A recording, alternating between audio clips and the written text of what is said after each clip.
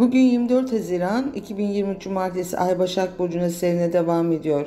Planlama ve organizasyon içeren konular gündemini sürdürebilir. Sabah saatlerinden öğle saatlerine kadar sürecek Ay Jüpiter uyumlu açısı altında daha neşeli ve umutlu olabilir ve şanslı fırsatlarla karşılaşabiliriz. Mars-Uranüs karesi 1 Temmuz'a kadar sürecek. Trafikte kazalara, yangın ve patlamalara karşı dikkatli olunmalıdır.